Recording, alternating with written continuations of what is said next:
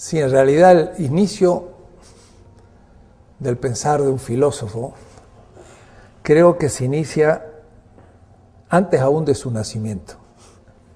O es decir, eh, comienza a gestarse en el ambiente donde esa subjetividad que pensará la realidad desde la filosofía comienza a gestarse. Y yo diría, en América Latina, la biografía de un filósofo es parte constitutiva de su obra, porque a diferencia de los europeos donde ya tienen hecha la historia y si saben por qué son lo que son y qué maestros tuvieron, entre nosotros el pensar supone un recorrido biográfico que significa darse cuenta dónde el pensador puso su cuerpo.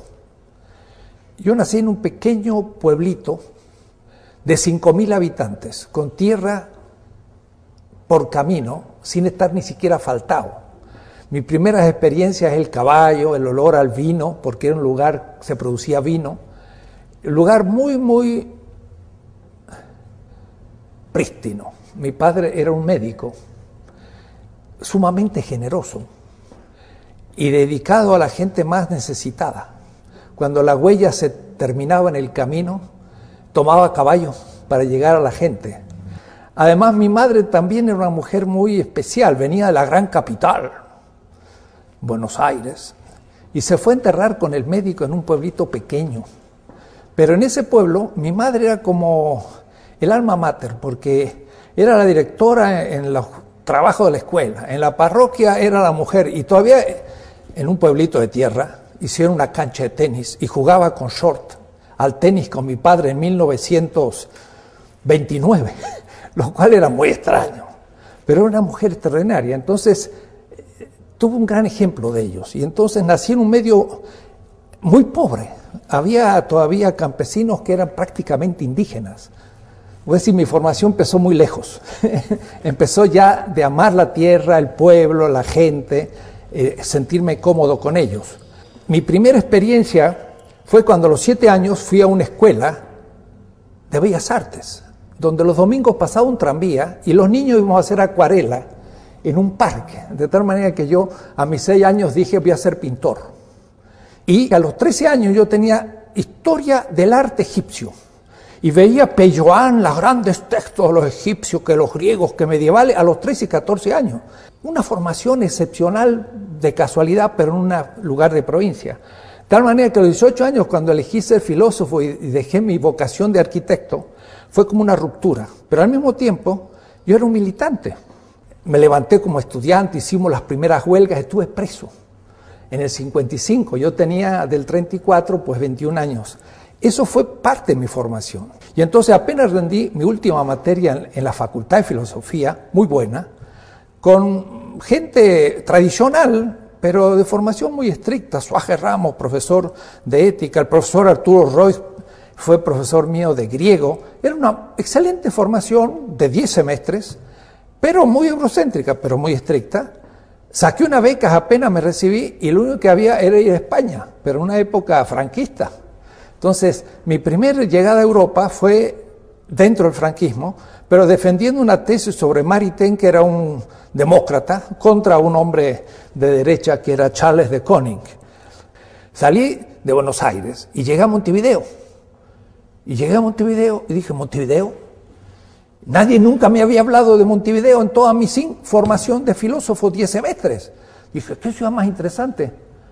Pero yo no soy conozco. Al día siguiente llegué a Santos, cultura negra. ¿Qué es esto? Soy un ignorante y esto que soy un licenciado. Al día siguiente llegamos a Río de Janeiro, pero por el mar, una cosa esplendorosa, el pan de azúcar.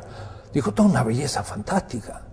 Nadie me ha contado nada. Cuando llegué a Recife, más negro todavía, ya empecé a sentirme enojado con mis maestros. Al día, después de ocho días, porque el Atlántico se cruzaba despacio, despacio, llegué a Dakar, en Senegal. Un olor distinto, todo negro, todo negro. Y digo, ¿qué yo puedo decir del África? Nada. Al día siguiente llegué a Casablanca, estaba en el mundo musulmán, así que había estado en América Latina, en África y en Asia en un solo viaje. El mundo musulmán, no tengo idea. Cuando llegué a Lisboa, dije, no soy europeo, ¿qué soy? Es decir, que fue mi viaje hacia Europa en el año 57 el que me hizo preguntar qué significa América Latina. Yo no sabía. Y estando en París y con los pocos dólares que me había dado mi padre, que me había enviado 100 dólares para París, para ir a un campo de trabajo en Alemania, me decidí ir con 100 dólares a Israel. Entonces de París llegué a Nápoles y todavía me sobraban de los 100 dólares 49 dólares y compré un ticket de un barco turco de Nápoles hasta Beirut por 42 dólares sin derecho a comer. Me pasé tres días, después de 10 días esperar a salir, sin comer en el barco hasta llegar a Beirut. Y ahí se me acabó el dinero.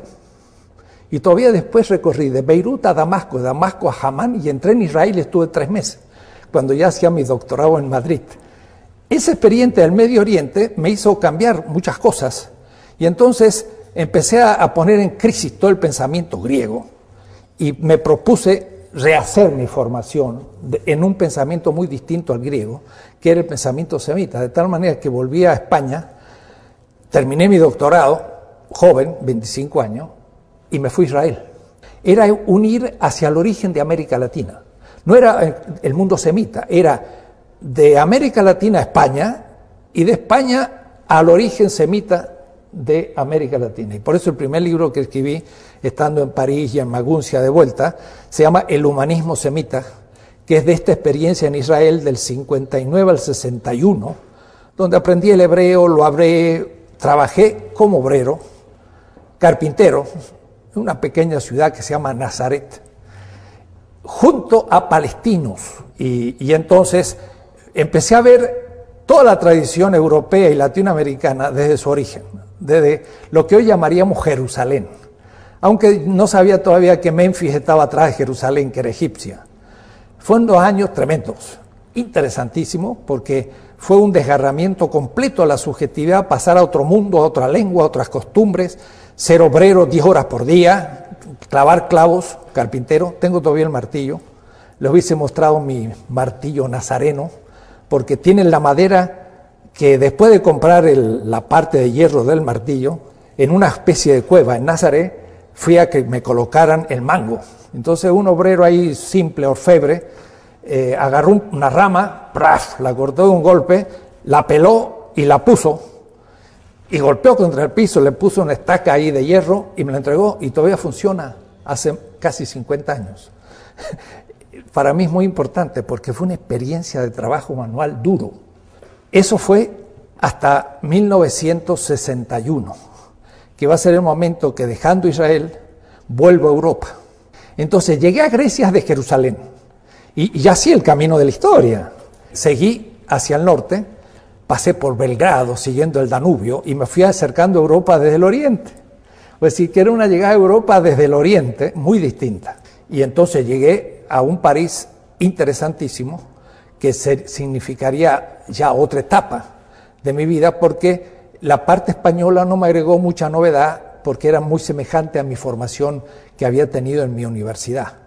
El, destete completo fue Israel, fue, un destete psicológico, mental e histórico. Y entonces llegué a Europa, desde fuera de Europa, pero con grandes maestros. Merleau-Ponty acababa de morir en el 61, estaba vivo Sartre, Paul Ricoeur daba clases en la Sorbona a los que yo seguí y justo apareció la simbólica del mal. Este es el libro que va a guiarme a mí desde ese año. No puedo decir que haya demasiada gente que me haya influenciado. En España tampoco todavía. Escuché alguna conferencia de Julián Marías, era muy reputado, leí cosas, pero no tuve mucha influencia en ese momento, y ni después tampoco. Subir y escuché algunas conferencias subir, yo diría que no estaría todavía preparado para entender lo que decía, pero sabía que era importante, escuché clases, hasta compré sobre la esencia, pero no lo leí bien todavía. Lo voy a leer después a subir, así que tampoco me influenció. En cambio, del cual sí fui alumno y tuve que tomar clases y, realmente era un hombre muy importante en la época, era el que chocaba ante Franco, fue expulsado de la universidad, fue López Arangure. Y él sí me, me, me ¿qué diríamos así? Me estimuló como maestro por su actitud. Y, no van a ser ya grandes maestros que me influencien, sino que uno va eligiéndolo para solucionar problemas que se descubren. No soy alumno en el fondo de ningún maestro, pero tuve buenos en el camino. Sí, debo decir que justamente de la vuelta de este camino del oriente al occidente, llegué a París en el 61. En ese año publicaba la editorial du que también publicaba Esprit, al cual yo me integré, La simbólica del mal, la symbolique du mal. Y Paul Ricoeur empezaba una nueva etapa en su, en su evolución. Pasaba de ser un fenomenólogo muy estricto sobre la filosofía de la finitud a descubrir la hermenéutica. Y por lo tanto, el, el primero de los dos grandes mitos que él analiza en ese libro es el mito de Prometeo y en adámico. Adán. Y yo venía de Israel. Entonces tenía sobre el mito de Adán un perfecto, diríamos así, posibilidad de su comprensión, en hebreo, al, punto que en ese momento empecé también estudios de, formación a nivel universitario en el Instituto Católico de París, donde hice ocho semestres de un pensamiento teológico. Eh, y entonces entendí lo que era el mito adámico y el mito prometeico. Ese libro es fundamental en la historia de la filosofía de Ricoeur pero es también importante para mí porque me daba la clave también de poder empezar a trabajar filosóficamente la tradición semita que yo estaba viviendo y la tradición griega que era el pensamiento eh, prometeico. Por eso que me puse a escribir el humanismo semita, que fue mi primera obra, 1961, que publiqué después en el 69, pero en el cual empiezo a plantear y digo, voy al origen de mi, cultura latinoamericana para encontrar las últimas raíces simbólicas de mi cultura. Y lo hago en el pensamiento semita, no en el griego. Fue una rebelión contra mi formación helenocéntrica y desde ahí la he ido creciendo. Eso me sitúa de una manera muy especial que hoy en este momento tiene gran resonancia, pero le estoy hablando en 1961, en París. Y Merleau-Ponty acaba de morir entonces la fenomenología de percepción, de la percepción, eh, fue un libro tremendo para mí porque entendí la fenomenología pero de la línea francesa. Y entonces fue ahí sí que empezó un gran descubrimiento. Paul Ricoeur fue una referencia directa. No, no había otro importante en ese momento para mí, aunque empezaba un doctorado en la Sorbona, sobre historia y el pensamiento latinoamericano. Y ahí me, fui después a los archivos de India y ahí entré a una historia latinoamericana desde Durango a Buenos Aires, siglo XVI. Me fui al origen de la cultura latinoamericana y trabajé en archivos un tema muy específico, que me va a llevar a descubrir Bartolomé Las Casas, porque era los obispos defensores de indios. Entonces descubrí la historia latinoamericana desde un grupo extraordinario de obispos, que era casi el 33%, Zumárraga era uno de ellos, pero que descubrieron al indio y lo defendieron, como el vasco eh, Quiroga en Mechoacán, pero como eso hubo en todo el continente, y la, la persona más importante de toda esa generación es Bartolomé Las Casas. Entonces yo en 1963 descubro Bartolomé Las Casas y me doy cuenta de la importancia histórico-filosófica. Y escribo dos artículos en la revista Esprit de París sobre el tema. Entonces, 61 para mí es la Sorbona, la fenomenología francesa, no todavía Levinas, y al mismo tiempo estudiando con Robert Ricard, que era un gran historiador latinoamericanista en París, que había escrito un libro famoso todavía, La Evangelización en México. Entonces me puse a estudiar América Latina al mismo tiempo que en la Sorbona. Entonces fueron años muy ricos, del 61 hasta el 66, cinco años, en los cuales pasé dos años en Alemania. Es decir, en el 63, pues tengo una beca en Maguncia y me voy a Alemania. Y entonces ahí hago cuatro semestres en Alemania. Entonces me, me pasé en esos años nada menos que casi seis años entre París y Maguncia y Münster, trabajando en Francia y Alemania, haciéndome cargo de la fenomenología alemana, pero también de la historia latinoamericana, historia positiva, ni siquiera interpretada. O sea, yo soy además historiador, doctor en la Sorbona, Sorbona de estudios, eh, como ellos le llamaban, ibérico. Y eso me va a dar después una muy especial eh, posición porque yo necesito hacer la reconstrucción de la historia de América Latina para descubrirme quién soy ahí dentro. Después de tener 32 años y de haber sacado dos doctorados y, otra licencia con la que tenía dos, dije, bueno, ya es tiempo de ponerse a trabajar. Y entonces me ofrecieron un, lugar en el norte de Argentina, en una pequeña ciudad que se llama Resistencia, y aquello era, era la provincia, pero la provincia norteña argentina, que uno decía, aquí me hundo en la selva y no salgo más. Pero no bien llegué, me llegó una carta al Ecuador diciendo, mira, acá tenemos un instituto, querríamos invitarlo para que venga a dar un curso. Tenía que estar dos meses. Y entonces ahí tenía alumnos desde los chicanos en Estados Unidos que aparecían en el año 70, estoy hablando 67, eh, estoy hablando del 67, desde los chicanos hasta argentinos, brasileños, mexicanos y todo, y tenía que dar un curso a 100 alumnos, pero para llegar a Ecuador tenía que pasar por Santiago de Chile, por La Paz, por Perú y llegar a Ecuador. Pero después un salvadoreño me invita a dar un curso en Salvador y entonces voy a Salvador y ahí tengo a, los alumnos míos que van a hacer después lo que van a empezar la revolución latinoamericana. Eh, el hermano Ernesto Cardenal, alumno mío, eh, y, una cantidad de gente que estaba en los 60 comenzando a abrir los ojos. Entonces eso me permitió de pronto empezar a caminar por América Latina, haciendo una filosofía latinoamericana, una historia latinoamericana, pensando una novedad de lo que estaba aconteciendo en los años 60 en América Latina, yo habré hecho del 63 al 73-74 unos 100 viajes por América Latina. O es decir, de ya ser habitual de pasar por La Paz o llegar a, a León en Nicaragua o dar algo en Santo Domingo, o es decir, pensando que iba a ser clausurado en una pequeña universidad, me transformé en un activista teórico de un movimiento latinoamericano que por una parte era de izquierda, siguiendo la, línea cubana, pero por otra parte era lo que después se va a llamar teología de la liberación, que eran grupos de base en todo el continente muy fuerte, arraigados en el pueblo, cristianos. Pero yo seguí enseñando Max Scheler, Heidegger y toda la filosofía abstracta europea. Hasta el año 68-69, en mis cursos, no pasaba la experiencia que estaba viviendo. Y entonces me acuerdo un alumno que me dijo, ¿y dónde está la política, profesor, en su curso? Yo digo, y no sé cómo insertarla. Entonces, académicamente, la facultad era un académico joven que tenía que defenderse con los colegas, mostrar que era más europeo que ellos. Y luego en las, las experiencias de base, completamente en un dualismo completo, sin poder explicar lo que estaba pasando. Fue en el 68, la lectura de Marcuse, El hombre unidimensional.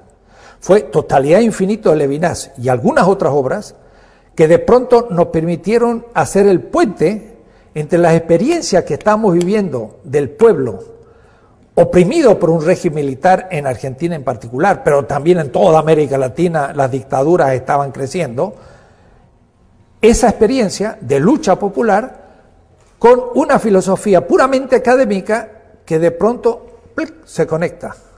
Y entonces toda la formación que había tenido, desde, mis griegos y latines de Mendoza, de mi formación en, Madrid, eh, en, París o en Maguncia, de pronto eh, puede empezar a arrancar un nuevo discurso. Eso va a ser el 68, o es decir, Tlatelolco lo vivimos profundamente. Berkeley, la guerra contra Vietnam, es decir, la guerra, la reacción contra la guerra de Vietnam, que en Argentina va a impactar en el 69 con lo que se llamó el Cordobazo. Obreros y, estudiantes tomaron una ciudad, tomaron la ciudad, y cayó un Ganía que era un dictador. Entonces eso fue una explosión. Es de esa explosión de la que voy a vivir en cierta manera hasta hoy. Yo soy una herencia del 68.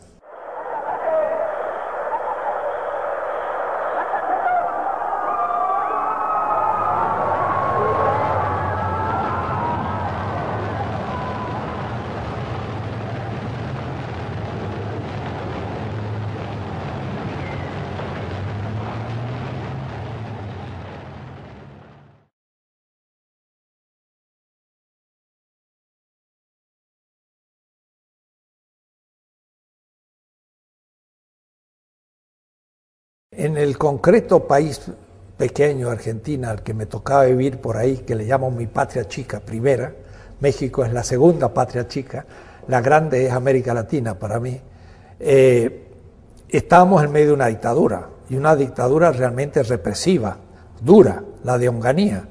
Y había muchos movimientos sociales que estaban en ese momento liderados por el sindicalismo obrero peronista. Esto acontecía también en toda América Latina, porque el impacto de la Revolución Cubana del 59 había producido en todo el continente movimientos guerrilleros, movimientos populares, compromisos de izquierda, marxista, pero también paradójicamente cristianos, porque estaba Camilo Torres junto al Che Guevara y, y había entonces una efervescencia muy particular. Esta efervescencia se vive profundamente en América Latina, yo lo estoy tocando en todos los países, y también en, Argentina. Y entonces la cuestión es cómo pensar esa realidad desde la filosofía académica, porque yo era profesor ya a la universidad, joven, pero profesor de ética. Y entonces eh, el, punto de encuentro, por ejemplo, va a ser, decía, el libro de Marcuse, El hombre unidimensional, porque el, el libro de Marcuse lo que dice en el fondo es, primero, la sociedad norteamericana es una sociedad totalizada. Aquí no hay oposición, todos piensan lo mismo, pero es un pensamiento único dominador. Él dice, donde no hay oposición, no hay discurso crítico. Entonces fue el único realmente que pudo usar la crítica a la escuela de Frankfurt para criticar nada menos que la sociedad norteamericana.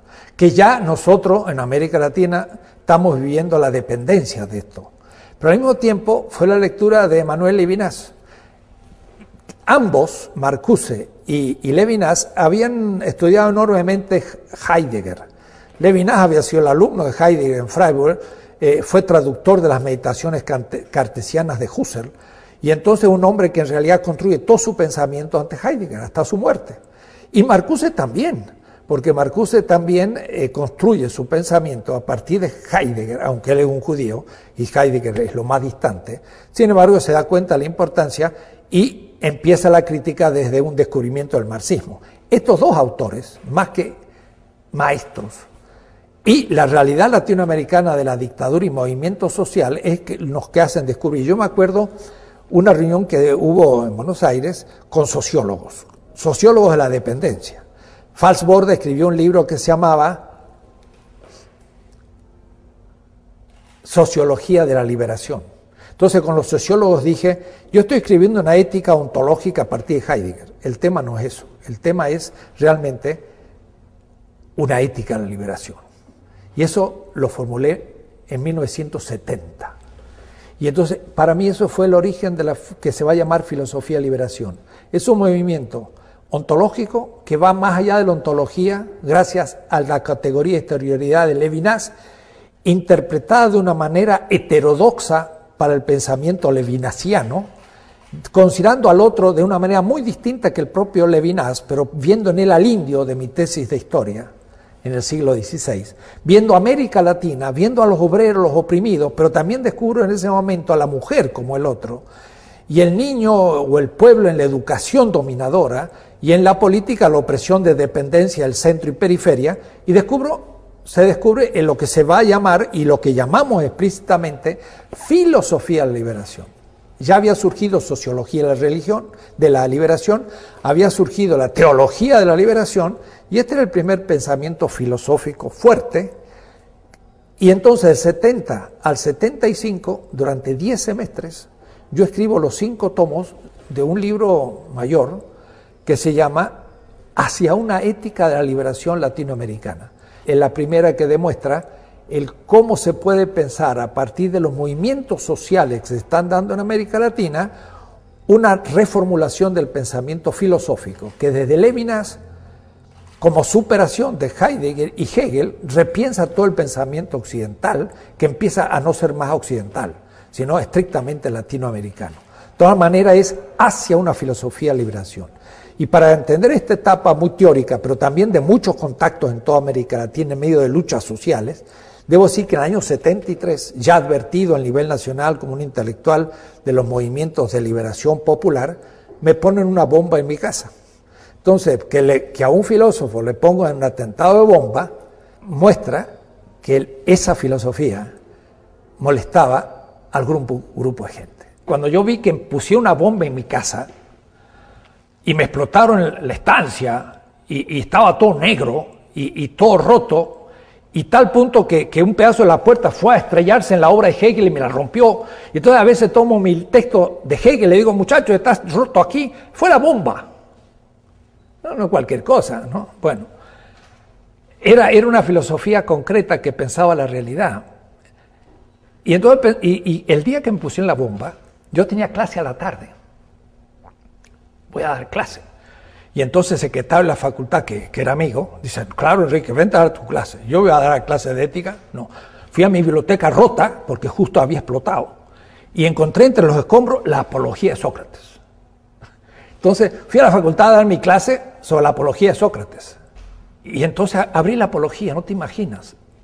Todo lo que decía Sócrates valía para mi caso. Me están atacando porque doy enveneno la mente de los jóvenes contra los dioses. A mí me habían puesto un panfleto que decía envenena la mente de los jóvenes con el marxismo. un panfleto junto a la bomba. Fue en el 73, el 2 de octubre, quinto aniversario de Tlatelolco, y lo descubrí esa misma mañana. Dije, ah, cinco años de Tlatelolco. Tlatelolco era muy activo en mi conciencia dos años más todavía sigo eh, eh, desarrollando filosofía y liberación, me hago mucho más presente en todo el país. En América Latina la filosofía de liberación ha crecido y el movimiento empieza a cobrar sentido latinoamericano en el 75, pero la, dictadura, todavía en manos del peronismo, se cierra y empieza una persecución. A tal punto que me pone una lista de gente a ser asesinada y me expulsan de la universidad en marzo del 75. Entonces, sin protección institucional, en el aire, digo, se acabó mi etapa argentina, me tengo que ir. Y empieza el exilio.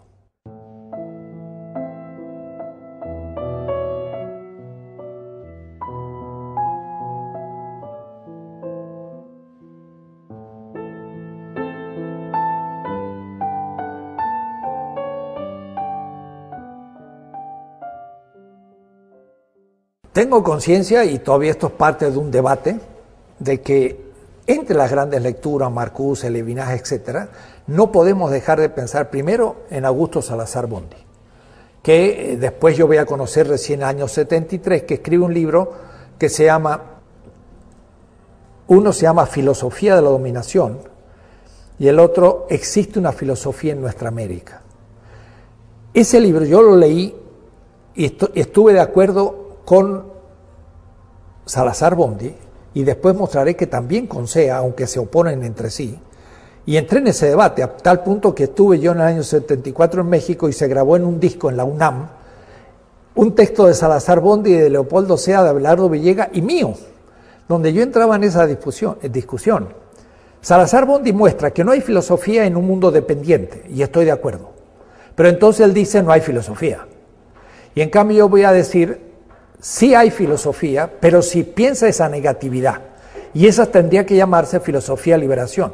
Si no hay filosofía, la única posible es la que trabaje filosóficamente este estado de inexistencia filosófico y abre el camino a la liberación. Y le llamé filosofía liberación que Salazar no pudo llamarle. Entonces, ahí surge el proyecto. El, proyecto surge desde Marcuse, que dice, desde Lukács, en el marxismo occidental, la categoría fundamental es la categoría de totalidad, es la ontología. Y a eso le llama Levinas la totalidad. La totalidad es el sistema vigente, el imperio y las colonias, el machismo y la mujer dominada, la cultura occidental predominante y la cultura popular. Totalidad, exterioridad. Y entonces, tomando esta categoría fundamental, la voy a aplicar a muchos niveles y van a ser los cinco tomos. Es una ontología que es criticada desde un proceso metafísico de la exterioridad entonces ya puedo usar las categorías de toda la fenomenología, el pensamiento existencial en los años 60 y desde ello plantear una nueva hipótesis de trabajo. Yo voy a partir del otro, de los oprimidos, de la exterioridad, del mundo colonial. Va a ser una filosofía postcolonial. Es decir, que en el año 75, al terminar el quinto tomo, justo, debo decir que en marzo me expulsan de la universidad, justamente veo, vengo a México a dar un curso en la calle Roma y ahí ya me ofrece un amigo que está fundando la UAM, la Universidad Metropolitana, y si estoy en problemas puedo venir porque hay que fundar la universidad. Y yo dije, ah, está exacto en el momento. Volví a Argentina ya en la clandestinidad, todo el mundo creyó que me había ido y ya sabía que podía venir a México. Entonces, en, en el silencio de la exterioridad, escribí el quinto tomo de la ética, pocos meses, que le llamé la arqueológica. Era el problema del absoluto. Otro, que para poner en cuestión al, sistema debe ser ateo de la divinización del sistema, como condición de posibilidad. Entonces es todo un diálogo con Hegel, con Marx, sobre el tema que podría llamarse filosofía de la religión. Fue mi quinto tomo que retomaré en la estética en el futuro. Pero es ahí donde lo primero que hago llegando en septiembre del 75 es decir, la etapa argentina está terminada, ya estoy en otro contexto, no voy a poder seguir aquello. Y entonces voy a escribir como un testamento, es decir, voy a resumir lo que tendría que haber escrito de aquello. Y entonces escribí un pequeño libro, seis meses, que le llamé Filosofía Liberación, que después lo publicó Edicol, que después lo publicaron ocho ediciones y que salió en portugués, salió en inglés, salió en francés, en italiano, en alemán. Pero de todas maneras, ese librito es mostrar el despliegue de una filosofía completa, desde el cara a cara originario, la totalidad, exterioridad, las grandes categorías de una filosofía completa de la liberación, del cual yo había solamente eh, expuesto la ética.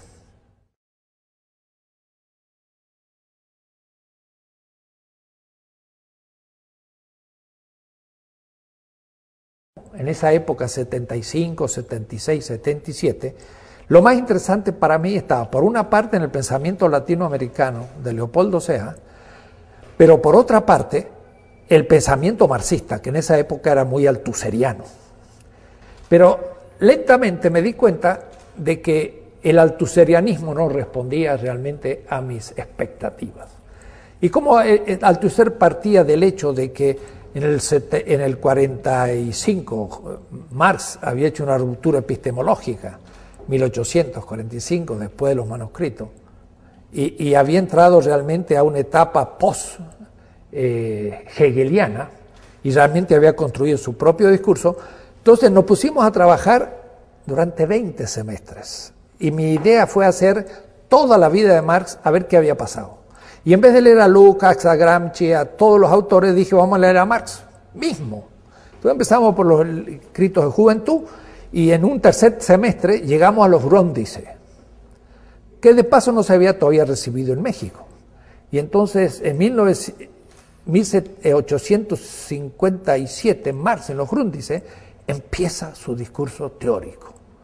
Y entonces las primeras palabras de los Grundrisse me demuestra una precisión hegeliana total. Y, toma Hegel como punto de partida al cual va a criticar. Y entonces yo dije, o Althusser no leyó El Capital y los Grundrisse, o no sé de qué escribió. Entonces me di cuenta que Althusser había construido pues una teoría sin haber leído Marx. Y, y, lo digo yo en el tercer tomo de mi comentario, y después lo dice Althusser en su propia autobiografía.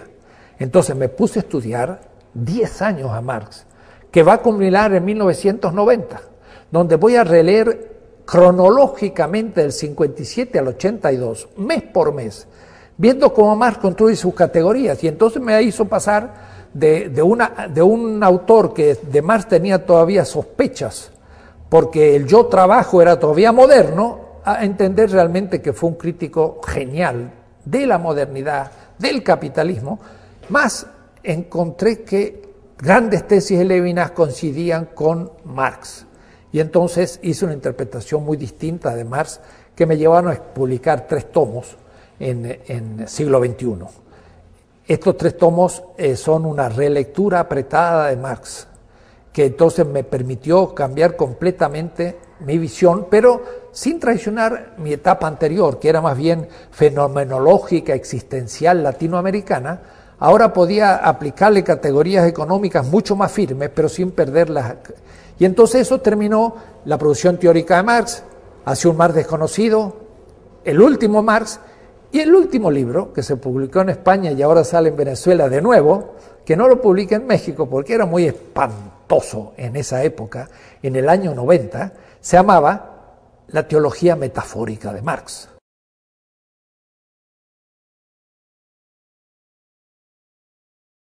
Yo reinterpreto Marx desde una hipótesis semita. Y las grandes categorías de Marx son semitas, no son tan griegas.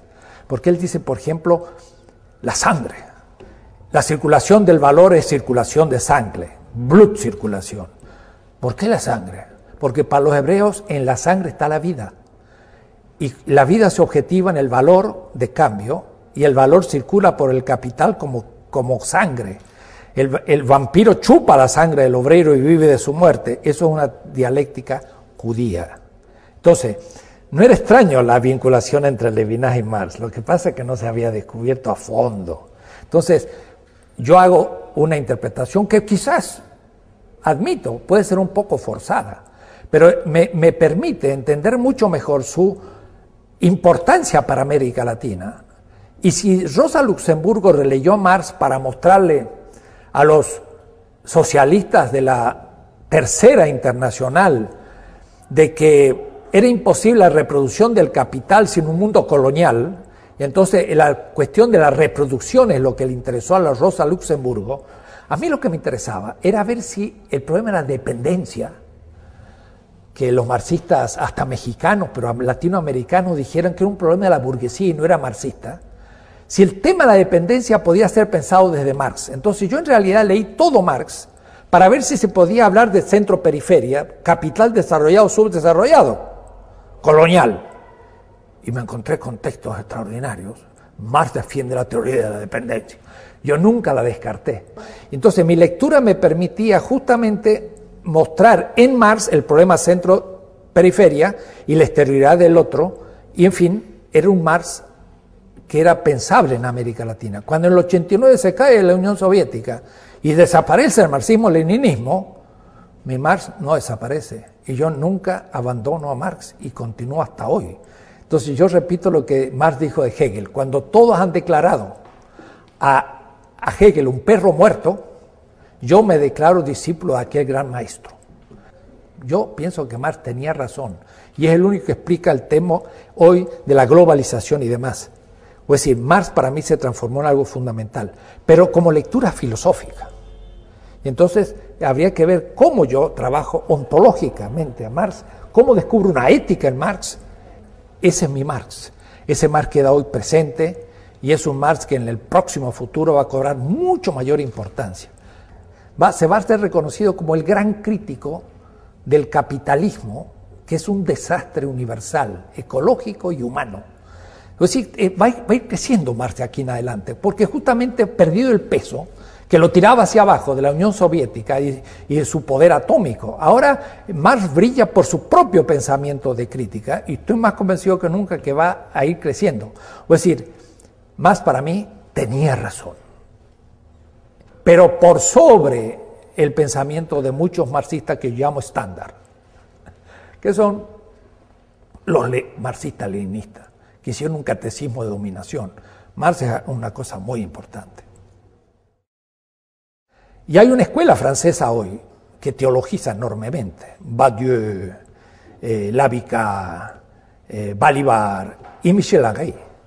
Eh, ellos, unos eran altuserianos, pero Michel Henry no era, era un fenomenólogo y tiene dos tomos sobre Marx espléndidos, donde justamente muestra la importancia del problema de la vida en Marx. Y para mí fue impactante. Por eso que yo tengo una filosofía de la vida, pero que no va hacia el aborto, o no aborto, sino que va a la muerte de los pobres. Y ahí está Marx, porque la ontología de Marx, por último, es, una crítica ética desde el criterio vida-muerte. Y Michel Henry es extraordinario, porque muestra muy bien la importancia del tema de la vida, pero después él sigue trabajando el tema de la vida fenomenológicamente y va a confrontarse con Schopenhauer y va, eh, por último, mostrar la importancia de la vida en Freud, y ahí, sin embargo, va a ir derivando hacia la derecha lentamente. Y entonces le tengo que decir hasta luego a Michel Henry. Entonces, pero es un hombre extraordinario y muy interesante que hace una reinterpretación de Marx que en su primera etapa estoy completamente con lo que él decía también.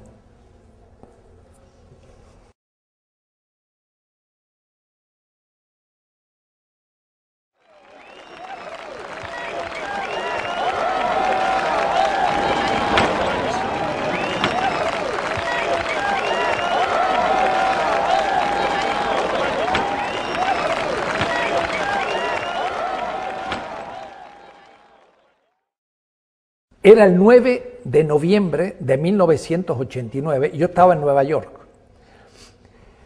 14 días después, el 23 de noviembre de 1989, mi amigo Raúl Forné Betancourt, profesor en, en Bremen, organizó un debate, él lo organizó, creyó que era interesante, entre un gran profesor alemán que yo me había desayunado, diríamos así, me enteré de su existencia, porque estando en Münster, Raúl me dijo, vente para aquí, eh, quiero comprar dos tomitos. Me fuimos a la librería y compramos dos tomos la, de transformación de la filosofía, la transformación de la filosofía. Y lo leí, debo decir, por primera vez en Acapulco. Estaba en la playa durante dos semanas. Así que leí el libro más abstracto filosofía, pero bien bonito. Y, y entré a un mundo fenomenal del señor Apple. El 24 de noviembre Apple da una conferencia en un seminario casi 50 participantes y yo me iba a enfrentar a Apple, ¿no? Le dije, aquí me matan, ¿no? Pero yo traía mi escritito hecho, que, que se publicó en siglo XXI. Entonces Apple planteó toda su ética del discurso como la tenía en el año 89 y yo describo primero su posición, pero en su presencia, que no es lo mismo que criticar a alguien en su ausencia. Y luego, mire que pongo un intermezzo, que le llamo en italiano así, y entonces le, muestro una situación ideal de comunicación, 1989. ¿Sabe a quién propuse? A los mayas de Chiapas. No soy profeta, pero me anticipé. Y de un inédito Carlos Lenkendorf que me ofreció, mostré cómo entre los mayas y los tojalabales hay una lengua argativa que es completamente comunitativa y comunitaria. Claro, para él era un ejemplo empírico, para mí también era un ejemplo ideal. Y luego empecé la crítica de la comunidad de comunicación de Apple, que atravesaba todo el pensamiento analítico y discursivo eh, norteamericano europeo, lo cual a mí me llenaba de todo un horizonte que no había desarrollado antes. Le critiqué la comunidad de comunicación de lo que yo llamé comunidad de vida desde Marx venía yo muy afilado en Marx, pero un Marx distinto. Entonces Apple, en su segunda exposición, dice, cuando el profesor latinoamericano expuso Marx, dos semanas después de la caída del muro de Berlín, dije, o este profesor es un ignorante, o es anacrónico. Pero dice, pero después me empecé a dar cuenta de lo que me estaba diciendo. Pero él se lanzó entonces contra Marx y yo lo defendía a Marx y entramos en un debate que duró nueve años y que se ha publicado en, Trota. Debo decir que, primero, yo estaba muy equipado porque venía muy habiendo trabajado Marx. Pero hay que situar ese discurso porque Apple con extrema generosidad dio quizás por primera vez en la historia de la filosofía, mira lo que voy a decir, primera vez, a un filósofo de la periferia la dignidad de poder discutir con él de igual a igual. Lo cual hace honra de Apple, no mí, de mí. Porque él me permitió. Y si no lo hubiera hecho, se hubiese contradicho, porque su ética del discurso exige que los que disputan y debaten, argumentan, tienen que estar al mismo nivel, con igualdad de derechos. Me elevó a su nivel. Y empezamos una discusión realmente de igual a igual, donde él se escandalizaba de lo que yo decía, pero me tomaba en serio. Y entonces era notable, de año en año cada uno iba escribiendo ponencias que se han publicado, donde íbamos entendiendo mejor al otro y nos dábamos duro. Y no se imaginan qué discusiones más interesantes y más apasionadas se daban ante un público que advertía lo que estaba haciendo. Era, la primera vez en la historia de filosofía. Nunca se había dado. Y ahí entonces yo descubrí lo que era la ética del discurso, lo que significa la importancia del lenguaje, del pensamiento analítico, lógico, que yo he tenido un tanto, diríamos, sin ocuparme lo debido. Entonces yo absorbí el pensamiento de Apple. Me di cuenta que una ética necesitaba un aspecto de la comunicación, del lenguaje, de la argumentación lógica, seria. Y entonces entendí los trabajos de Villoro sobre el pensamiento analítico y lo que intentaba eh, la escuela de, del Instituto de Filosofía que se proponía un pensamiento serio, preciso. Apple me, permitió hacer eso, pero al mismo tiempo me daba cuenta de la falencia material que tenía y la imposibilidad de descubrir las condiciones materiales justamente que Marx aportaba. El asunto era, primero, cómo articular Marx al pensamiento de Apple. Después se fue transformando de la teoría de la comunicación con la economía y terminó por ser el aspecto formal y el aspecto material de la ética, que culminó en la ética del 98. Mi primera ética de los 70 era una ética toda material, pero fenomenológica, heideggeriano-levinasiana, donde tomaba la economía en serio, pero yo todavía no conocía mucho la economía, no había leído seriamente a Marx. Ahora sí sabía Marx muy bien, pero también ahora articulaba lo formal, todo lo que vamos a llamar teoría de la validez desde Kant entonces, la ética del 98 no fue una pura repetición de la ética de los 70, sino que evidenciaba todo el crecimiento con el pensamiento material de Marx y al mismo tiempo con el pensamiento formal de Apple, que es un hombre realmente creador, un alemán que absorbe por una larga lectura el pensamiento anglosajón y que hace un puente entre Europa y Estados Unidos. Y entonces me permite a mí una triangulación, porque yo siendo América Latina no soy ni Europa, ni Europa ni Estados Unidos. Me sirve la crítica que Apple hace al pensamiento lingüístico analítico norteamericano. Me sirve el pensamiento también del pensamiento analítico que hacen de Apple. Pero yo me sitúo en una posición en que puedo atacar al pensamiento norteamericano y Apple desde la periferia colonial proponiendo nuevos temas. Y entonces de pronto me, encuentro que ahora sí la filosofía de liberación no solamente tiene un sentido material, no solamente su, va más allá de Heidegger o, o, de Hegel, sino que ahora también puede poner en cuestión el pensamiento analítico, el pensamiento lingüístico, argumentativo, epistemológico, y entonces plantear una novedad epistemológica y lingüística desde los oprimidos, desde la exterioridad colonial. Y eso es mi ética del año 98. Después de mis diálogos del año 75, de lo cual no he contado nada, porque al mismo tiempo que vengo al exilio en México, empiezo una gran experiencia de siete reuniones con africanos y asiáticos. La primera la tuvimos Dar es Salaam, después estuvimos en Delhi, después estuvimos en Ghana, y, yo me pasé por Filipinas, por, la India, por Zimbabue, por Kenia, durante el 76 hasta el 90 muchísimo. Así que ya no me movía por América Latina solo, me moví en el tercer mundo. Entonces mi ética del 98 ya no es latinoamericana, surge en América Latina, pero pretende ser universal. Vale para un oprimido norteamericano, para una mujer en Pekín o para un indígena de los tribes en India o para el pensamiento bantú, para toda la humanidad. ¿Por qué? Porque en todas partes hay oprimidos y la liberación se da en todas partes. Mi ética de la liberación, que habla de los oprimidos y excluidos, y de parte de la categoría de exclusión en la alteridad, se torna, una, ética universal. Y ahí entra el problema con los postmodernos que no piensan que hay universalidad. Yo de Apple logré recuperar la universalidad, pero contra Apple le puedo mostrar la diferencia de la alteridad que él no tiene. Entonces lo mío es mucho más complejo que, que, Apple, pero es mucho más complejo que los postmodernos. Y también a los marxistas tradicionales le digo, ¿y el problema cultural? ¿Y el problema del género? ¿Y el problema de la dependencia? Y mil temas que el marxismo tradicional nunca planteó.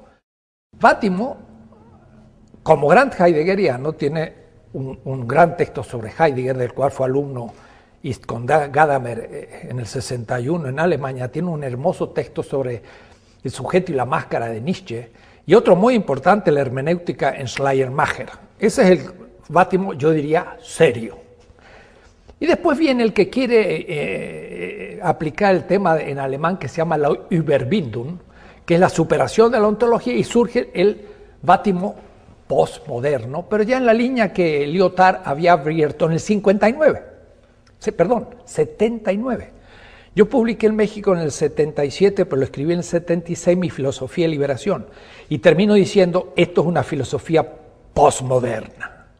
Pero lo pensaba desde Heidegger, cuatro años antes que Lyotard. Nadie lo ha advertido.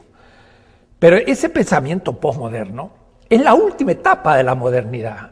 Piensa todavía eurocéntricamente desde Europa. Jamás piensa el mundo periférico, colonial, africano, asiático, latinoamericano. Para ellos esa gente no ha producido filosofía, ni les interesa. Entonces, en realidad, para mí, la crítica a la razón terrorista moderna que hace los postmodernos es una crítica escéptica todavía desde Europa o Estados Unidos, que nos puede ser muy útil porque debilita la razón, pero no me sirve porque yo necesito la razón, pero la razón para justificar el proceso de liberación de los movimientos populares y de nuestros países coloniales. Yo no puedo dejar la razón de lado. Es como decía aquel, aquel pobre, yo soy pobre, pero tengo la razón. Pero si a su vez no tengo la razón porque me la critican, soy pobre y además no tengo la razón. O decir, no tengo cómo defenderme. El universalismo de Apple me viene bien, pero es un universalismo que tengo que redefinir desde la diferencia levinasiana, que de paso, Levinas en Francia es el maestro de todos los posmodernos, pero él no es posmoderno. Así que en cierta manera yo puedo interpretar todo esto. Entonces fue muy interesante la discusión con Bátimo, porque le acepto la crítica a la razón moderna, pero no le acepto la crítica a la razón, y menos una razón débil, y menos un puro narrativa fragmentaria y casi escéptica. No, los movimientos populares necesitan una razón global, por lo tanto universal, porque el capital es mundial. necesitamos un, pensamiento fuerte, pero crítico. En cambio, el postmoderno, al debilitar la razón, todas las razones también debilitan la razón crítica. Y de paso me hace la crítica de la crítica. Es lo que pasa muchas veces con el pensamiento analítico al, destruir la posibilidad de la ontología y del pensamiento a la escuela de Frankfurt, por ejemplo, porque es dialéctica, destruye también la razón crítica. Y yo necesito la razón crítica. Por eso que no puedo estar con Bátimo, aunque me sirven muchas cosas de él. Y con Rorty fue lo mismo. Porque Rorty, que en el fondo es un gran académico norteamericano, como él dice, mi vida se ha transcurrido dentro del mundo académico, eh, siendo un gran analítico, alumno de Carnap y de lo mejor del Círculo de Viena, al fin se lanza contra la propia razón y muestra sus límites. Y entonces se lanza contra el gran discurso. Entonces estuvo en México y fue notable, hablando en favor de la democracia y del mercado y el capital sin darse cuenta, porque hablaba como un norteamericano, habló contra el gran discurso marxista. Y Rorty, en el Instituto de Filosofía en México, criticó al marxismo, no dándose cuenta que él asumía también un gran lenguaje democrático liberal. Luego, cuando terminó, yo le dije a él, usted, además de analítico crítico, escéptico prácticamente, usted es un gran pragmático. La línea de Mead y de Peirce y de Dewey y de los grandes, como usted es pragmático, en el fondo también le, interesa el efecto de un discurso. Entonces yo le, pregunto a Rorty, ¿qué le parece a usted en un pueblo pobre como el mexicano, donde el 50% está debajo de la línea de la pobreza? Su discurso democrático liberal en favor del mercado, porque en el fondo usted lo tiene de abajo, o el discurso de Marx que es crítico de ese, de ese capital que empobrece. Y entonces Rorty con una sonrisa me dice, y bueno, yo creo que realmente el discurso de Marx sería más práctico. Y entonces yo dije, usted es muy honesto. Y, con eso ya concluí el diálogo. O es decir, él se da cuenta que lo que él hace es para Estados Unidos. Y en eso la crítica que le hace Apple me es muy conveniente, porque él dice, nosotros los americanos partimos nuestra realidad y pensamos un movimiento concreto, filosófico. Ustedes son mexicanos, tienen que empezar el propio. Ah, pero lo que pasa es que Estados Unidos domina México, no me argumente. Yo no creo en esas argumentaciones. Entonces Apple decía, yo soy alemán, pues entonces tengo derecho a ser nazi, si es por eso. Y yo tengo que criticar el, el nazismo y lo tengo que criticar porque es irracional. En cambio, usted no puede criticar y se arma ahí toda una discusión entre Rorty y Apple, que a mí me sirve el de Apple y no el de Rorty. Entonces, fue una época de muchas discusiones que estaba detrás de la ética.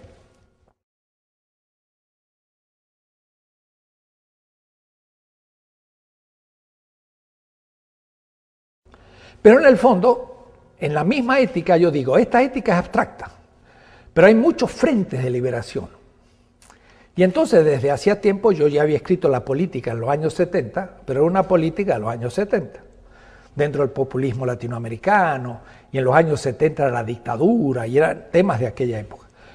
Ahora tenía que hacer otra política, 30 años después. Y los autores que yo había trabajado no eran los actuales. Ahora estaba Habermas, estaba eh, Rawls, estaba Anna Arendt, estaba ya surgiendo Badiou, Agamben, Zizek, todos los grandes filósofos políticos. Tenía que enfrentarlo a todos y hacer una crítica desde América Latina a ese discurso. Y entonces advertí lo que fue la hipótesis de esta, de esta política que ya ahora empieza a publicarse. Ayer mismo corregí ya el original del primer tomo que va a salir en Trota. Y esa política dice lo siguiente, Marx enunció que la economía política se trataba y es un texto muy desconocido porque es de los manuscritos del 61-63, que no ha sido traducido al castellano. Dice, hay que hacer la crítica de todo el sistema de las categorías de la economía política burguesa. Y lo hizo. Y en el Capital comienza esa crítica. Pero nunca se hizo la crítica de todo el sistema de las categorías de la filosofía política burguesa, desde Hobbes hasta Habermas. Este despropósito es el que me he propuesto. es decir, lo que pienso hacer, y lo he hecho, y a, lanzarlo a la crítica de los leones, es otro sistema de categorías que muestre el cinismo de la filosofía política de Hobbes, Locke, Hume, Kant, Hegel, hasta Lenin incluyendo. Porque Lenin, que es un hombre extraordinario, que es un gran revolucionario, piensa que el Estado es un instrumento de dominación, porque piensa que las instituciones son de dominación. Entonces todo el poder a los soviets, y cuando fue el caos, todo el poder a la burocracia, y se terminó los soviets, y, tenemos un sistema inesperado que más no había pensado ni Lenin tampoco, que el socialismo real, que no se justifica, pero que no se puede hacer la crítica porque no hay filosofía política crítica a la burguesía y del socialismo real. Entonces mi, política es, a partir del acontecimiento latinoamericano de Kirchner, Lula, Evo Morales, Tabaré Vázquez, Hugo Chávez, Correa y la derrota en México, a partir de todo eso, formular un nuevo discurso político donde hay que construir categorías nuevas. Y eso lo he publicado ahora en una pequeña obra que son 20 tesis. Es un librito de 100 páginas. Eh, vienen ahora tres tomos de más de 500 páginas, donde eso va a ser desarrollado y en el fondo es lo siguiente. Los movimientos sociales, el movimiento indigenista, la opresión que sufre América Latina, exige el comprender al poder no como dominación, sino como afirmación de la vida en una definición de la democracia que es participación y factible. Es necesaria una nueva descripción de lo que es poder, cuya única sede es el pueblo. Y entonces es necesaria una nueva teoría de las instituciones para ver cuándo esas instituciones ejercen el poder obediencial. Los que mandan, mandan obedeciendo, dice el sub, y Evo Morales dice, eso es el poder obediencial. Esa categoría, poder obediencial, es nuevo en la filosofía mundial, nunca se enunció. Y eso es lo que yo intento ahora hacer categoría fundamental de donde se explica todo el sistema de categorías políticas. Lo contrario es cuando el que ejerce el poder cree que lo ejerce desde su propia subjetividad y no como un ejercicio delegado en nombre del pueblo. Y entonces la voluntad del gobernante se transforma en el fundamento y yo soy el poder. Yo soy el soberano, el Estado, o la burocracia, o quien sea. Y eso se llama fetichismo. Entonces, cuando la voluntad del gobernante se transforma en el fundamento y no la voluntad del pueblo, se fetichiza y ahora usa el poder como dominación. Pero en todo el pensamiento de la izquierda, prácticamente, el ejercicio del poder es dominación. Y por eso entonces, si el, proletariado llega al poder, es la dictadura del proletariado. Pero eso es un círculo cuadrado. Porque si los oprimidos llegan al poder, no deben ejercer la el dictadura, tienen que ejercer la verdadera democracia, que no tiene nada que ver con el liberalismo, y hay que redefinir lo que es democracia. No simplemente hay que superar la democracia liberal, hay que hacer algo completamente distinto y referirla de nuevo. Es lo que intento en mi política.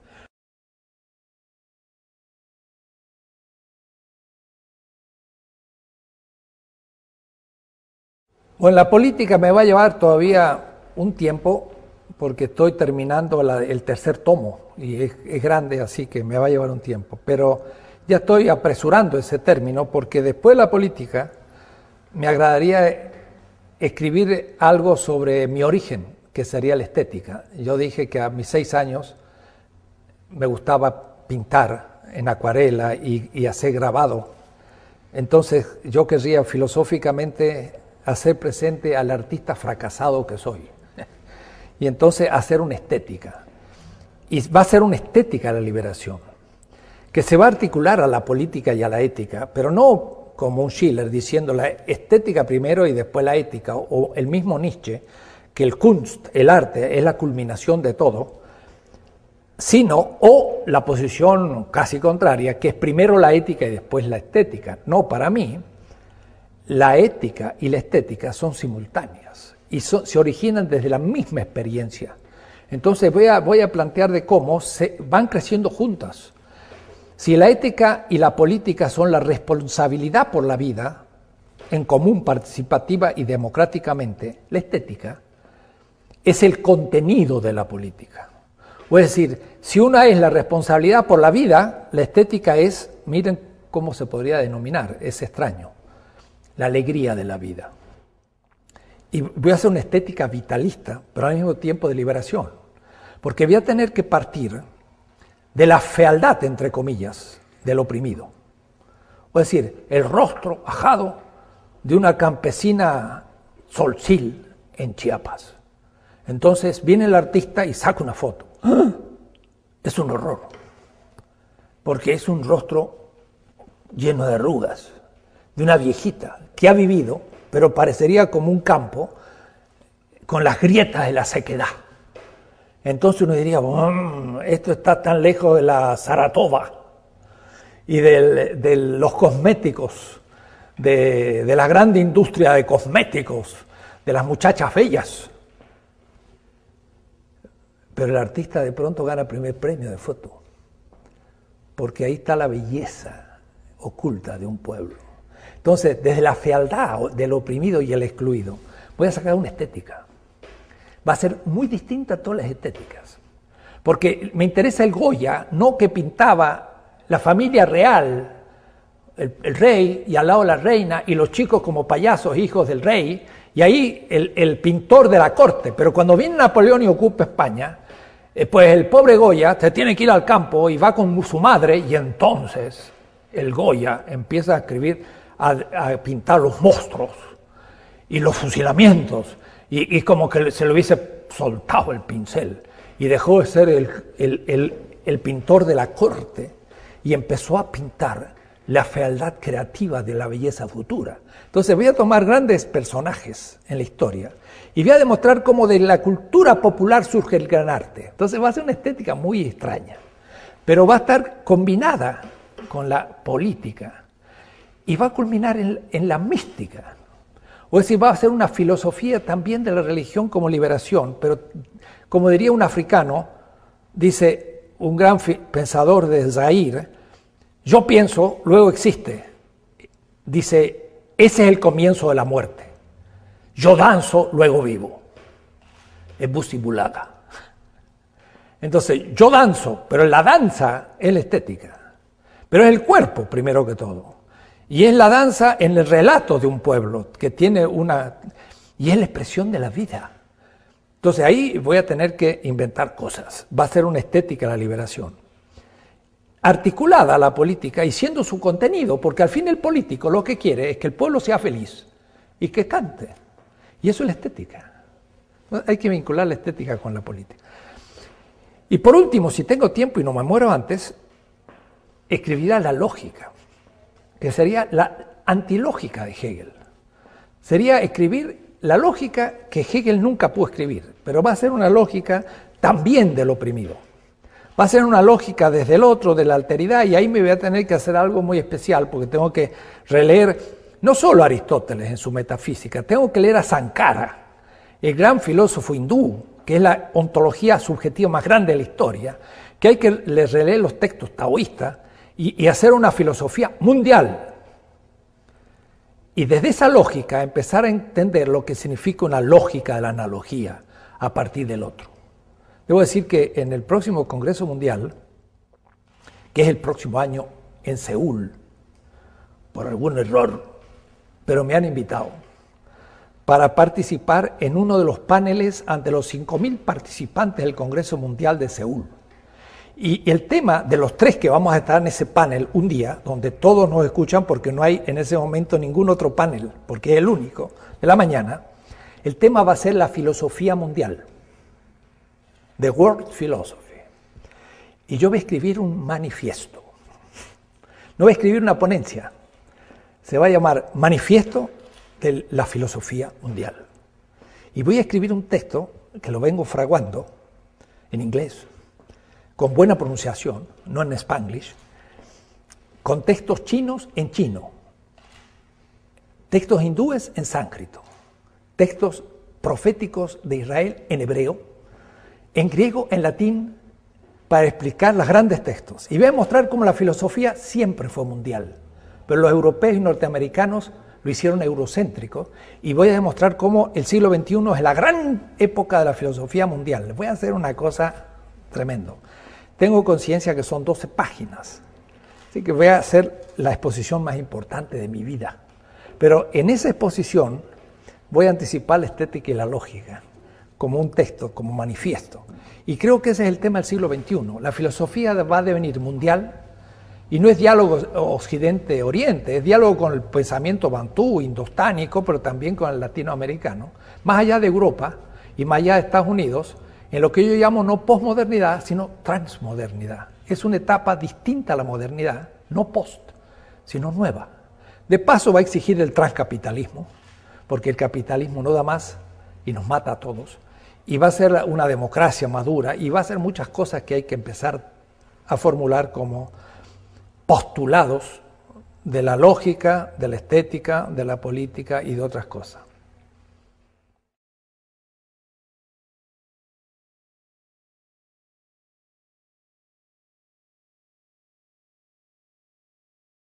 Creo que del aporte de el gran pensador español Gauss, hubo tres grandes discípulos, que, yo a veces los represento como con simpatía y positivamente, como grandes sacerdotes de tres grandes pirámides.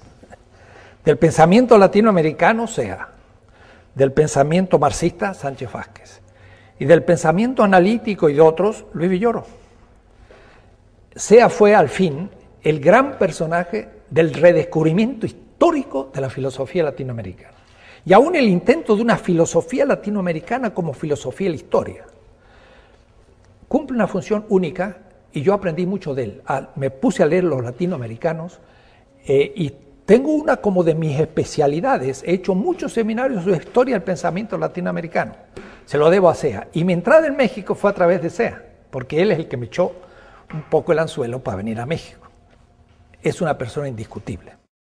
Sánchez Vázquez fue también el que introdujo en épocas duras y realmente del populismo priista un pensamiento crítico como Marx. De tal manera que también creo que es muy reconocido en toda América Latina como un hombre que, descubrió Marx y se mantuvo fiel hasta hoy. Y justamente en estos días está hablando de la persistencia. Y con respecto a Luis Villoro, yo siempre había pensado que en Luis Villoro, que, es sumamente inteligente y es muy bien formado, y es un gran alumno de, de, de Gauss, había como cuatro etapas en su pensamiento y me parecía que eran como cortes que no lograba asumir. La etapa primera fenomenológica cartesiana, la etapa segunda de sus grandes libros sobre el pensamiento indígena del indigenismo desde Sartre, donde la solución un poco es que el indígena sea mestizo, lo cual es absorción del otro y no respeto al otro, que va a corregir en su cuarta etapa y La Emancipación, que es un libro fundamental de estudio ideológico histórico.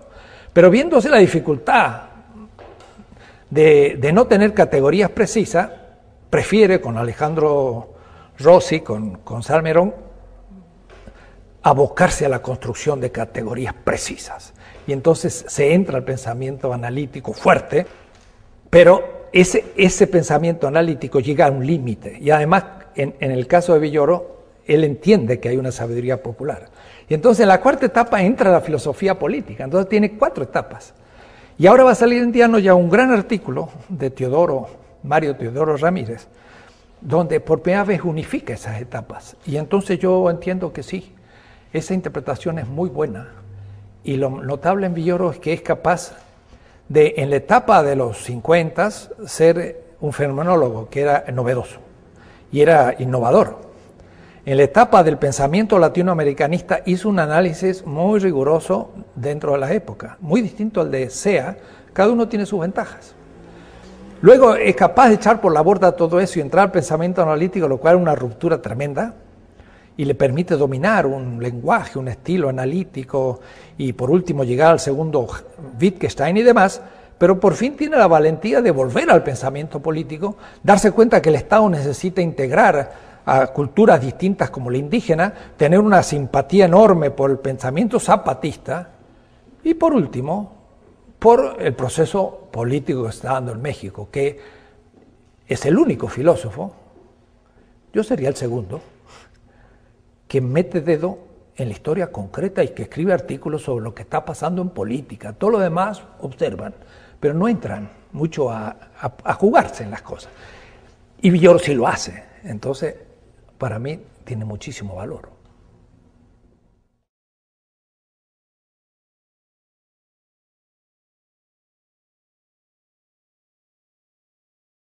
Sí, la cuestión sería casi volver a la cuestión de Kant, que tiene él un, artículo muy extraño, muy bonito del último Kant, que, es después de la crítica del juicio hasta su muerte, en 1804, que se cree que es el viejito Kant y es el más interesante Kant, el cuarto Kant. Y él tiene uno que se llama el Streitfakultäten, que es la crisis, la disputa entre las facultades. Algunos creen que facultad del alma, no, era la facultad de la universidad. Él, habla de la facultad de Derecho, de Economía, de Medicina y de Filosofía. Y le cita y pone a la facultad de Filosofía como centro de la universidad. Eso fue en Berlín, después llevado a cabo por el grupo de Schelling y Hegel, y pasó a ser hasta hoy en Alemania el proyecto. Entonces, la Universidad de Berlín hizo una reforma, que es la, reforma de la ilustración, donde el investigador era profesor, porque antes los grandes filósofos y los grandes investigadores, ninguno era profesor. Ni Descartes, ni Malebranche, ni Leibniz, ninguno fue profesor. El primer profesor fue Kant. Y, fue Humboldt, que vino por América un hermano y que reconstruyó. La visión de la universidad europea es Humboldt, la Universidad de Berlín, 1800. Eso después se imita en París, se imita, se imita en Cambridge, Oxford y llega a Harvard y es la universidad ilustrada, moderna. Pero algunos creen que la universidad es europea. En Nalanda, sobre el río Indo, en el siglo IX había casi 30.000 estudiantes de budismo. Nunca llegó la filosofía occidental a tener tantos alumnos.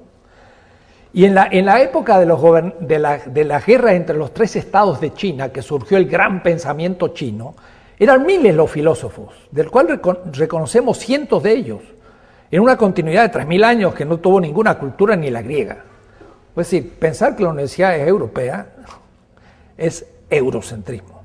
Que la filosofía actual viene de la reforma de Berlín, sí. Y como eurocéntrica hay que superarla. Y por eso entonces hay que refundar la universidad. De ahí que la función de la filosofía en la universidad futura, no humboldtiana, sino de los pueblos, yo creo que debe volver a tener a la filosofía su fundamento. Pero el fundamento de ese fundamento debe estar en las tradiciones de los pueblos. La filosofía no es por esencia académica, sino como Sócrates, pero también como Confucio, y también como el taoísmo, y también como el budismo, y como eh, también el pensamiento de Dije, de Sankara y otros, es un pensamiento que parte de la sabiduría popular. Por lo tanto, ser académico o no ser es lo secundario. El problema es expresar realmente el pensamiento de un pueblo. Y entonces, la filosofía debe situarse en la universidad para decirle, somos la conciencia de nuestro pueblo. Tenemos que pensar aquí, con todo el tecnicismo de la filosofía, aquello que ese pueblo necesita. Entonces, por eso que soy hasta tan escrupuloso. Porque mi maestro de ética, cuando uno citaba, tenía que citar la edición, el lugar de la edición, el año, la página. No pues decía, Marx dice tal cosa en una edición de segunda. No, no. Marx dice tal cosa y hay que citarlo. En la edición clásica en alemán, con página y línea. Y luego la traducción castellana con página.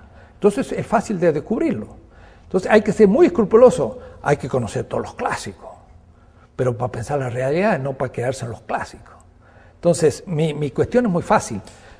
La filosofía creo que es más central que nunca y está a la base de la universidad. El problema es que no lo está, pero tiene que estar en la base de la universidad, no definiéndose como académica, sino como expresión de la realidad.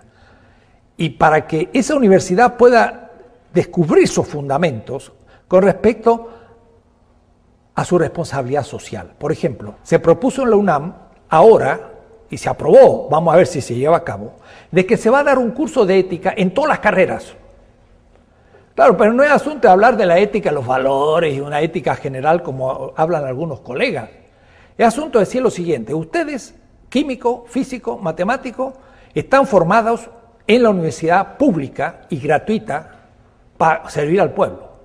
¿Qué curso en la Facultad de Matemáticas les explica cómo usted como matemático va a ser responsable del pueblo? Ningún curso.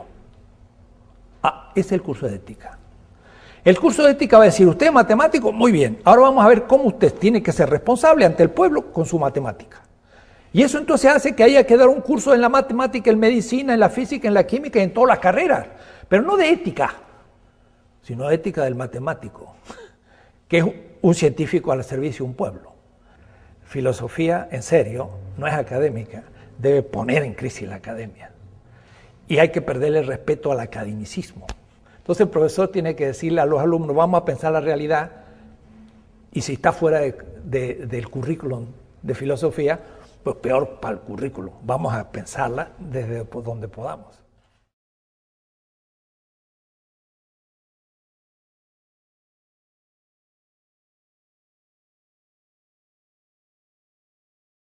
Filosofía es el amor a la sabiduría. Levinas por ahí dice, es la sabiduría del amor, que la inversa. Quiere decir que es el pensar, sabiduría, del compromiso. Pero también es el amor a la sabiduría. Pero no dice que es el amor a la filosofía, sino la sabiduría. Entonces mi, amigo eh, Raúl Fonet Betancourt me dice, ¿tenían los aztecas filosofía? Los tlamatinis, cuando estudiaban en, la escuela de los sabios, que a las 2 de la mañana se levantaban a empezar sus cursos y cuando se dormía se ponchaban, se pinchaban para despertarse y eran grandes sabios, tenían amor a la sabiduría. Claro, si no, no estudiaban como estudiaban. Y eso lo tienen los bantúes y lo tienen todas las culturas de la tierra.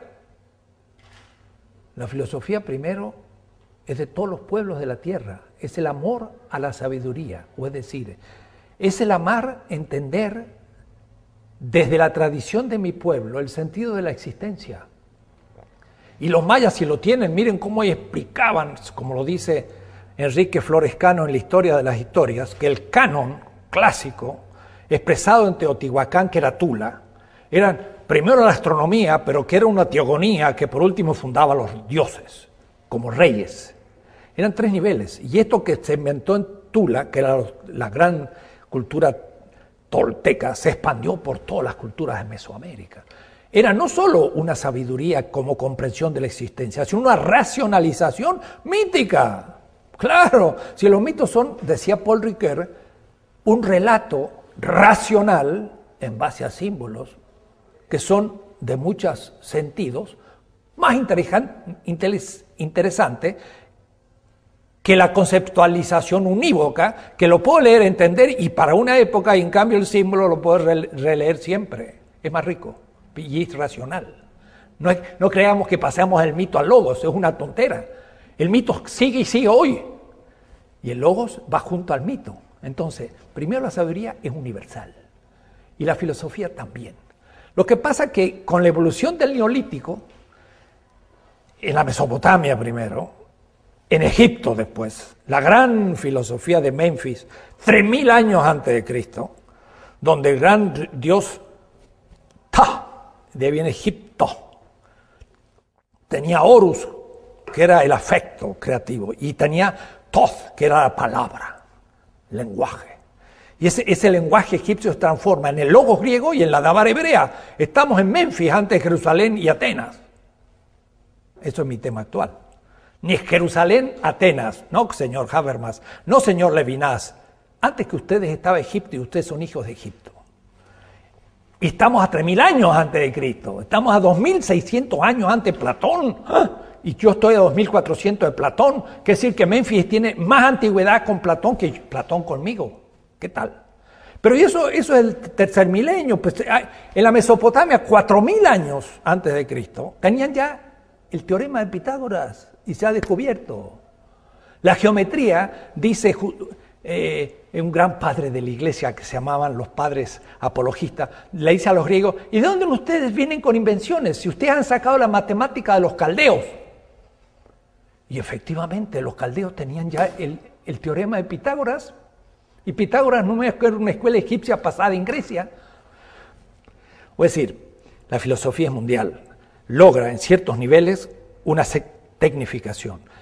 En los griegos logró una gran sofisticación. ¿Cómo lo había logrado en, Cartago? No sabemos, porque la destruimos. Y muchos otros no, no, lograron tal sofisticación, pues no tuvieron la misma continuidad. Los griegos se continuaron los helenistas, los árabes recibieron su herencia, Bagdad fue el centro de la filosofía y de la matemática, números arábigos, el logaritmo es el nombre del matemático de Bagdad. El logaritmo es el nombre de... y entonces, eh, en el siglo X la matemática mundial estaba en Bagdad. París, Roma, pues eran los bárbaros, no sabían nada, todavía no había surgido. Entonces, filosofía mundial. ¿Qué es la filosofía entonces? El amor a la seguridad de los pueblos que se desarrolla. Hoy estamos ante la globalización mundial, necesitamos una filosofía mundial. ¿De qué nos sirve la filosofía moderna europea y norteamericana? Muchísimo. Nos da un instrumento gigantesco, pero cuidado, hay que pensar realidades que ellos nunca pensaron. Boaventura de Sousa. Y ahora, al pensar esa realidad, esa categoría, nos empiezan a quedar chicas. Entonces hay que desarrollarlas o inventar nuevas. La función de la filosofía es fundamental los últimos estratos de la realidad, pero es una realidad hoy opresora, global pero excluyente. Entonces para mí para pensar lo último hay que pensar qué es lo que fundamenta el derecho de esos oprimidos y excluidos a crear un mundo nuevo. Otro mundo es posible. ¿Cuál es la función de la filosofía hoy? Justificar la liberación de los oprimidos y excluidos. criterio de verdad es la vida de los pueblos desde la imposibilidad de vivirla, o es decir, desde la muerte. Y desde el sufrimiento de los pobres de la tierra, los marginales, los indígenas, la mujer, la raza negra, los niños de la calle, los viejitos de los asilos y todos los tipos de opresión posible. Desde eso se piensa un pensamiento universal. Yo creo que eso es la filosofía hoy.